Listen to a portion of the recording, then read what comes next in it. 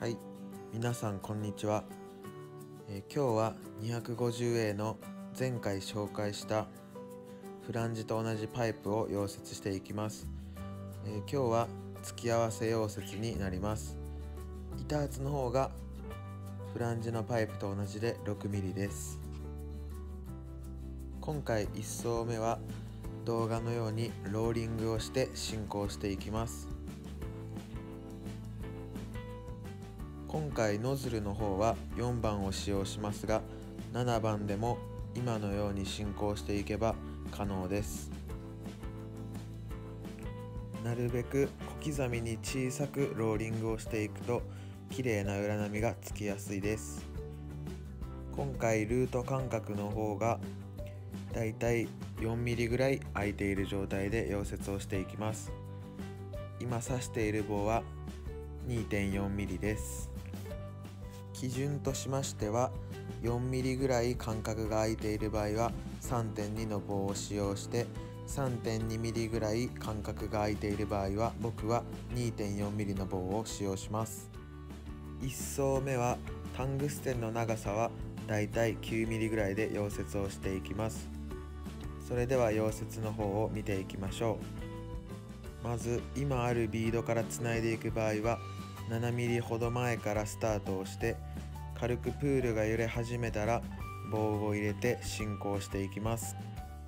今回電流は1層目は 120A で棒は 3.2mm を使用しています。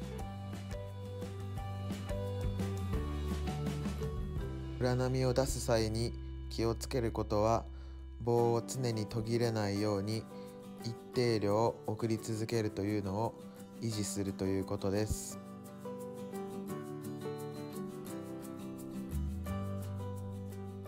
溶接棒の提供量が少なすぎると裏波の出がとても悪くなるのである程度一定量は提供し続けるようにしてください。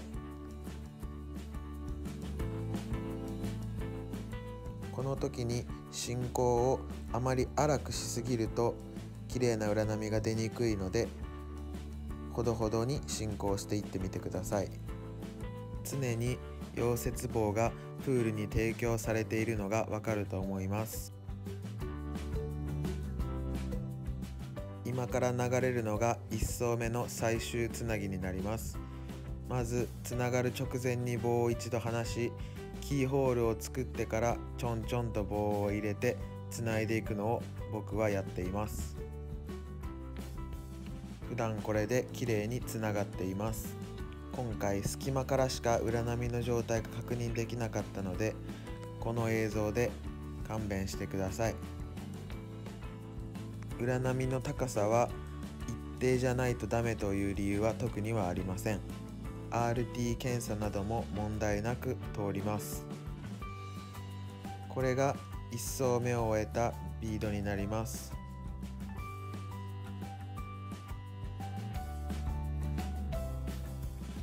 まだ高さを出していかないといけない状態です。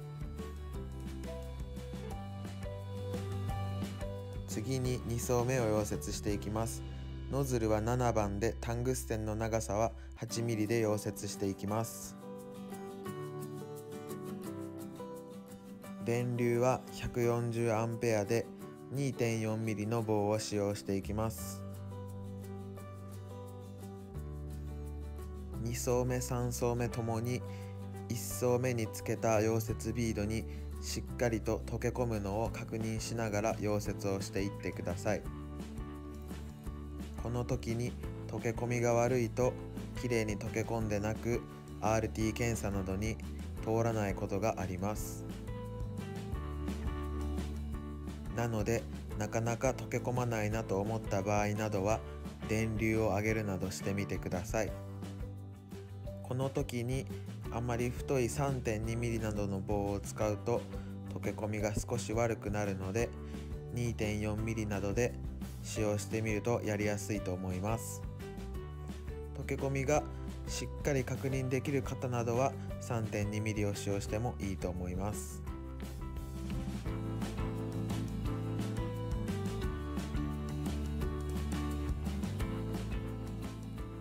3層目で高さをパイプの面まで上げるので2層目3層目のよもりの高さは前もって計算して溶接をしてください。2層目3層目でこれぐらい棒を送れば高さが面まで上がるなというのをだいたい予想して溶接をしてみると最終溶接がしやすくなります。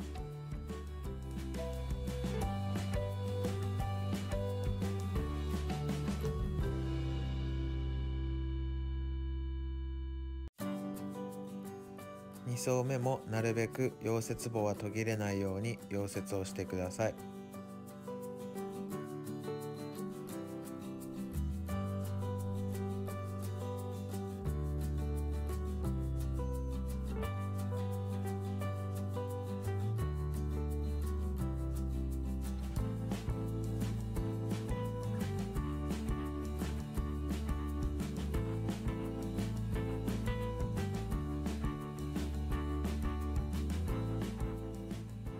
これが2層目を終えた溶接ビードです。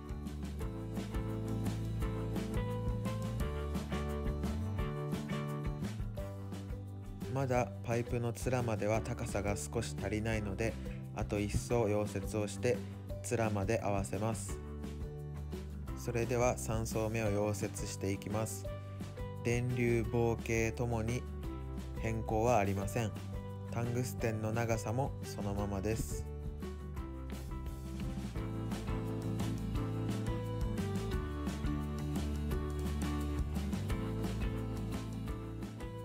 3層目で気をつけていることは貝先の角をあまり越さないように貝先内でビードをとどめて溶接をすることです。なぜかというと最終層で幅が揃えやすいからです。越してしまうと幅が狂いやすく溶接ビードが崩れやすいです。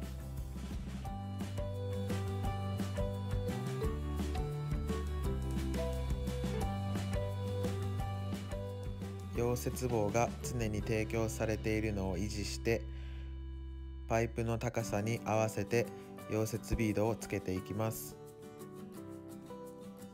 今でほとんどパイプと同じ高さの溶接ビードがついている状態だと思います。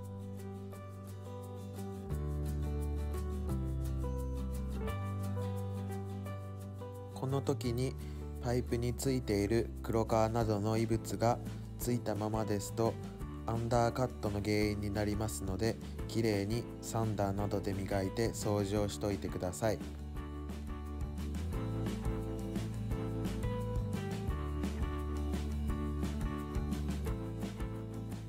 今回2層目3層目ともに薄く溶接ビードをつけているのでしっかりと溶け込んでいる状態が維持されています。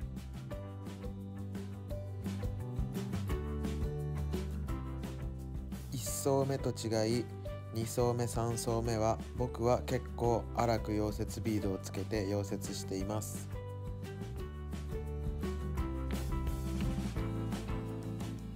なるべく焼きすぎないように粗く溶接をしています。これが3層目を終えた溶接ビードの外観になります。高さがだいたい面ぐらいまで上がっているのでこれで最終層が溶接しやすいです。それでは最終層を見ていきましょう。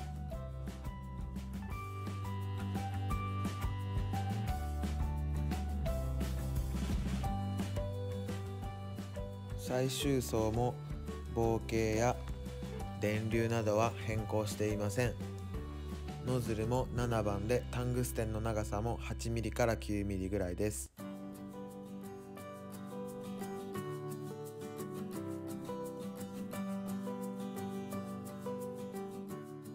この時に振り幅は貝先を 0.5mm ぐらい越すような感じで幅を合わせて溶接をしていってます。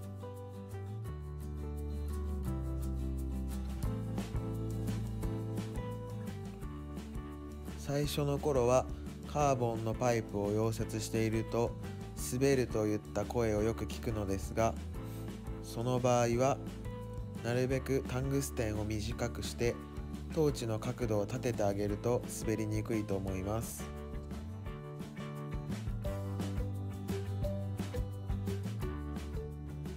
滑らなくなりローリングになれるとタングステンの長さは 8mm9mm ぐらい長さを出した方が幅などが揃えやすく個人的にはやりやすいと思います。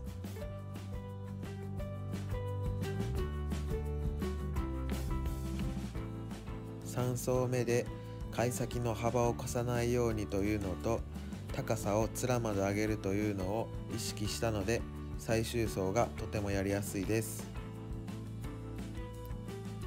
綺麗に幅の方も揃っていってると思います。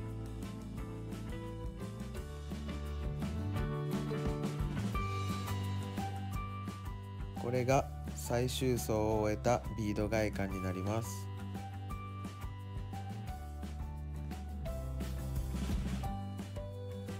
綺麗な鱗がある程度ついています。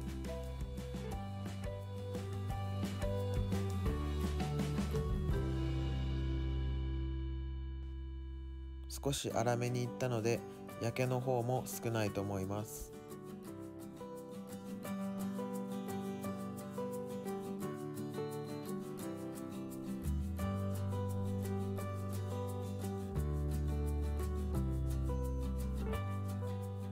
今回裏波をパイプの外からしか撮影できなかったのですが同じやり方でやったパイプがありましたのでそれの裏波を載せておきます。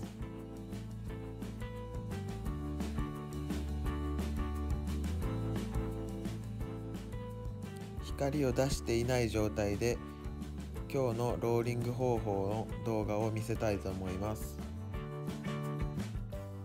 今回8の字である程度荒く進行しています。